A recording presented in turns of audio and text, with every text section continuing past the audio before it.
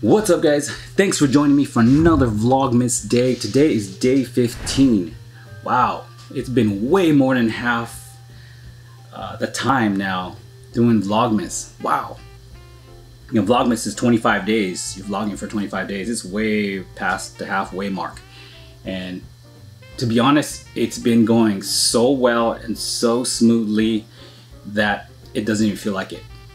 I can't believe I've been vlogging continuously for 15 days. Now, I did Vlogmas my first year going into YouTube, and to be honest, that I was having anxieties to do this year because I didn't do last year. I did that my first year, didn't do the next year, and now I'm doing this year. So I kind of had a little bit of anxiety um, and, uh, and hesitation of coming back to do Vlogmas because thinking about how it was the first time but I think with my experience in doing YouTube videos from that, that first time to now, fast forward like two years later, it's been an easier transition. It's been easier for me to just go, go, go, because I know the program more. I know how to uh, film more, like kind of get an idea of like what I'm gonna film, subjects and scenes and stuff like that. Um, I think that's helped a lot with the experience. And I really want to get into doing more vlogs. And so I thought doing Vlogmas will get me more comfortable of actually uh, creating content for vlogging. As to before where I would just do like certain videos, it was all like single based subject like, oh, this is what I'm gonna make a video on and that's it. This one is just kind of like vlogging you're vlogging your day or how it, you know, or whatnot. And so it's a little bit, bit more, um, it's a little different. And so going into Vlogmas, doing Vlogmas, and I think it's really helped me and it's helped me feel more comfortable, even more comfortable talking to you guys on a camera and being okay with me talking to a camera and no one else. And people around me, but I'm talking to a camera and that get that that is that is a little bit of hard obstacle to kind of get past because you just feel so awkward. Even with my family with my wife and the kids i feel awkward just sitting there talking to the camera. And you know they're around like watching like you know? But i think it's gotten me out of that. And i've been able to just vlog. Even when i'm out I can just vlog. I don't, I don't pay attention to anything around me or like anyone else. But if they see me and they're like, well, what's he doing? I don't really pay attention to it as much anymore. And I think with over, over time, the more I do it, I won't even pay attention to those people. I don't care because I'm not doing it for them. I'm doing it for me and I'm doing it for you guys that enjoy watching my videos. So that's all that really matters. Not people that are like, that don't know who you are and just walking and seeing you talking to a camera and going, that guy's weird. I am weird, so, so what? I'm also a nerd, so doesn't matter. But anyhow, I'm just ranting, um, I guess, or I'm just going off tangent there. But with that said, um, let's get into this video. We're gonna do a Christmas video. So it's Christmas themed video, finally. I know last few videos just kind of like what I'm doing, and the last one was like a workout video during Vlogmas, but this one is gonna be all Christmas related. And it's something that it just, just makes you feel good and warm and fuzzy inside and just gives you that holiday feeling, you know? Let's get into this video.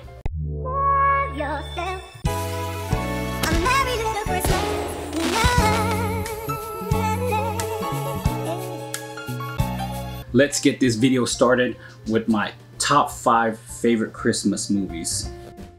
Coming at number five, Scrooged. Oh, I'm so relieved it's been so long.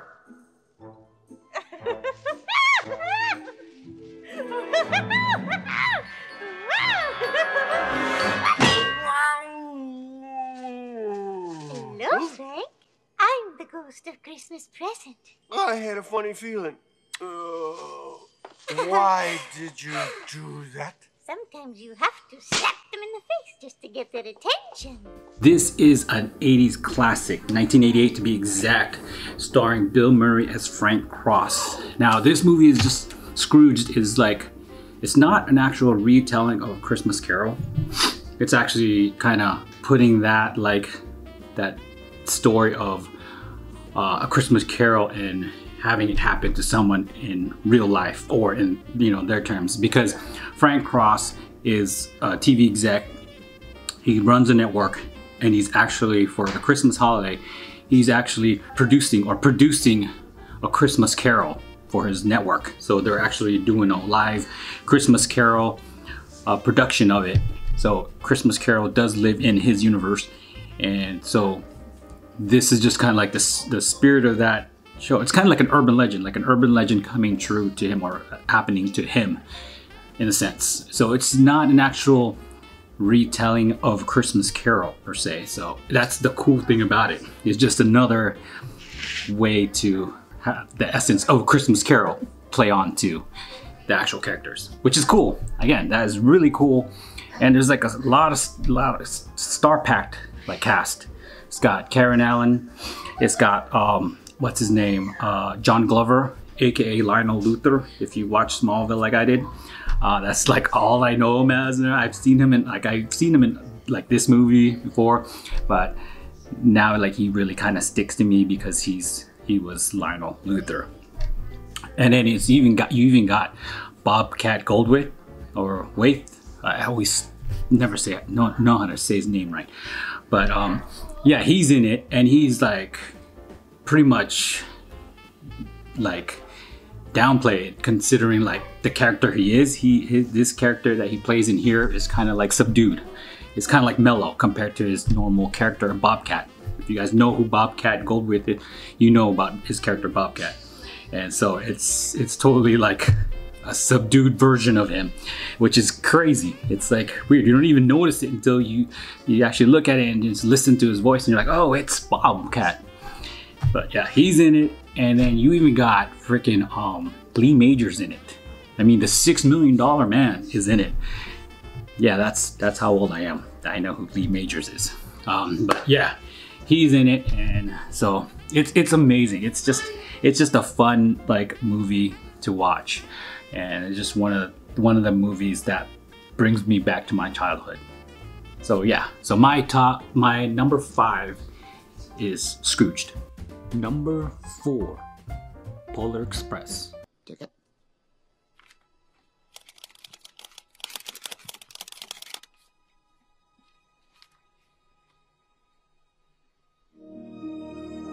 It says No. It's nothing I need to know.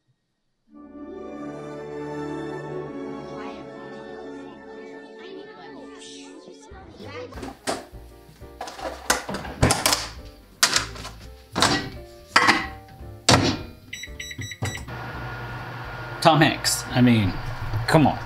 Tom Hanks is in it. So that alone makes it a good movie. But Polar Express is just another one of those movies that just hits that holiday feel, you know, gives you that holiday feel. Especially the whole theme and moral of the story about believing, about always believing in the spirit of Christmas, no matter how old you get. Can't forget that feeling and belief in Christmas. Yeah, you know, Santa Claus isn't real. When you get older, you're like, you believe it less about Santa Claus, but doesn't mean that you have to stop believing in the spirit of Christmas. Spirit of Christmas isn't just just about Santa Claus, this person that goes around gives gifts. It's just about you giving to other people. So that's just another one of those movies that just makes me feel good, makes me feel like it's the holidays. Ooh. Whenever I watch that movie.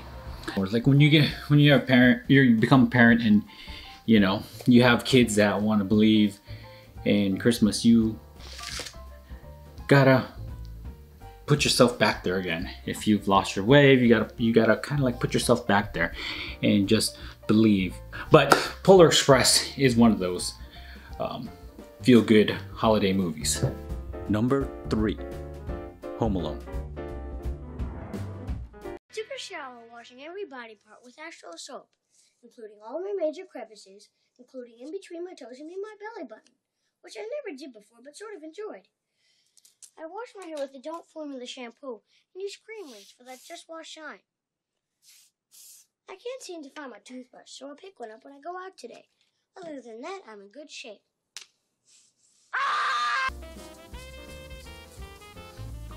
I mean, it's a classic.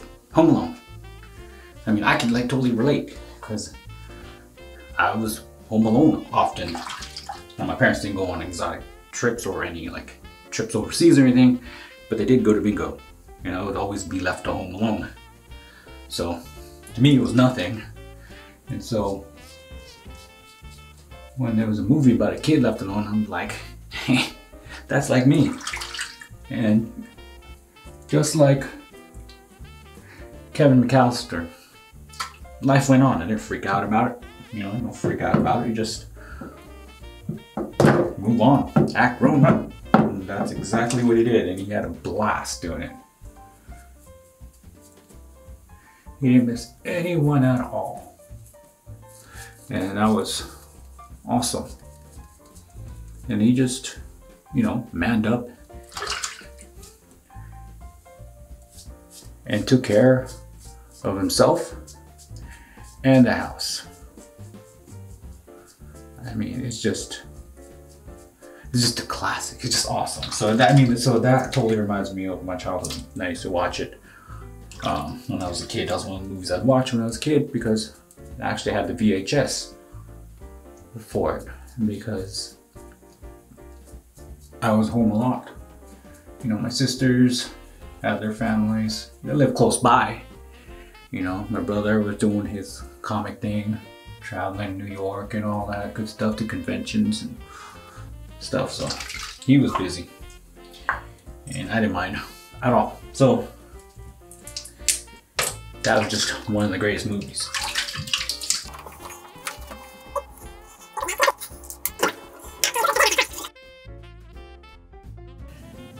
And who could forget about that part? That was just like hilarious because it's so true. Because aftershave stuff really stung. Not so much no more, but I mean, it's just a classic. So, my number three movie is gonna be Home Alone. Number two, A Christmas Story.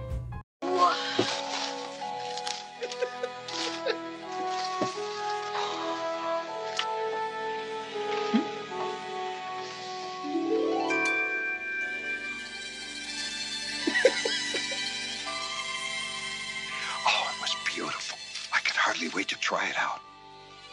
Uh, do, do you know how to load it? Yeah. Yeah? That's right.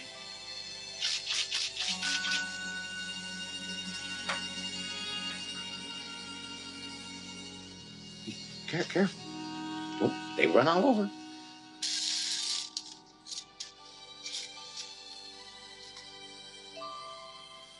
Close it up. Close it up. Can I can I try it out, Ma? Can I? Now, you just can't go wrong with this movie. Now, this movie has just got so many classic scenes and so many classic lines.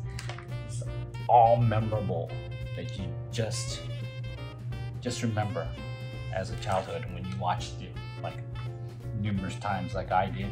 You know, and every year they played from 8 p.m.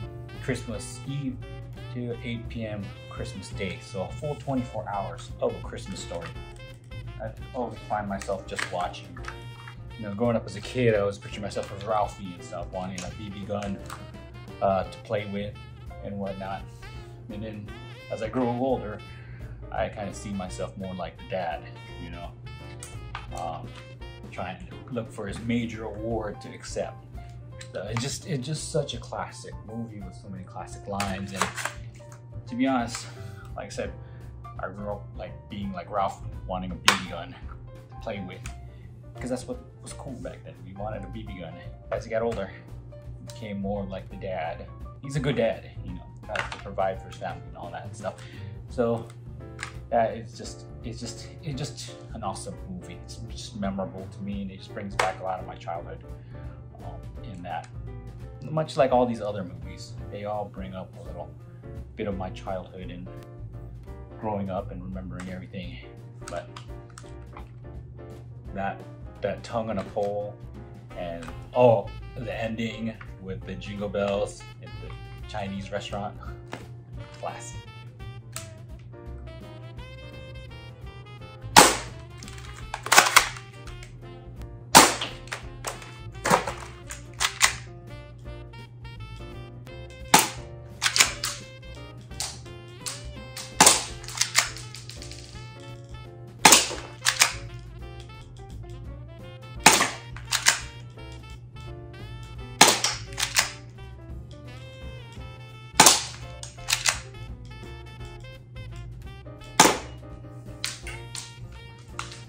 Pulls a little bit.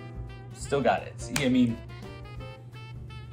that's childhood right there. I just remember doing that a lot with my GI Joes and stuff. Here, I'm doing it with Pepper's treats. Hope Pepper doesn't get mad at me these treats have been shot at. But yeah. So number two is Christmas Story. Number one, National Lampoon's Christmas Vacation. I pledge allegiance to the flag of the United States of America and to the republic for which it stands. One nation indivisible, with liberty and justice for all. Amen. This is my number one favorite Christmas movie. It's just just fun and I just love how they do the um the whole um advent calendar thing. They do the countdown.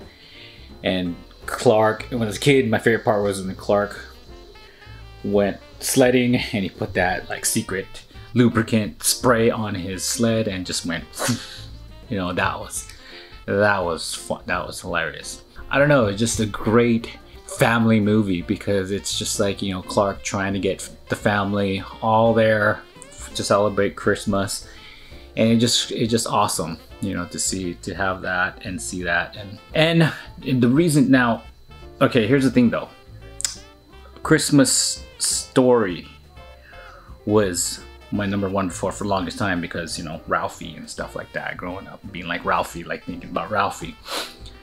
And um, National Lampoon's Christmas Vacation was actually number two. But again, as I got older and became a dad myself, I see myself more as Clark Griswold. I don't know. I just feel like more like Clark, and especially a couple vlogmases ago, I was up on the roof putting up Christmas lights all I could think about was Clark Griswold. So, I mean, it's just so it just it just makes even more like this is the movie. You know, this is my movie um, because I just can relate to him more about you know make trying to make the holidays as special as you can for the family. In fact, I'm watching right now this scene right here alone. I mean, even the opening scene of them getting the tree. It's just, so many endless scenes that are just so memorable. it's hilarious. I mean, come on. This is just, it's just a great movie. Just, just awesome. Anyhow, that is my list right there. That is my number one top favorite Christmas movie. So, yeah, I am super interested to know what your top five is. Just comment them down below in the comments and let me know what your top five Christmas movies are. It's, I really want to know what your guys. You guys are probably way different from mine, but you know, but that's the whole point. If everyone has their special Christmas list of movies and stuff, of holiday movies. Alright guys, so that is going to do it for this video. I hope you guys enjoyed this video. I hope you guys had fun with, I had fun, you know, trying to come up with scenes to kind of relate to what I'm talking about. I didn't really want to just do it where I'm just sitting here in one spot or standing in one spot and just going down the list. I kind of want to do it throughout the day. So I hope it turned out well. It's my first time doing something like that, so hopefully I can do some other stuff like that. But but at the, again, at the end, I hope you guys enjoyed this and I hope to hear from you guys and see what your top five Christmas movies are. Alright guys, that is it. I will catch you guys in the next vlog, which is tomorrow.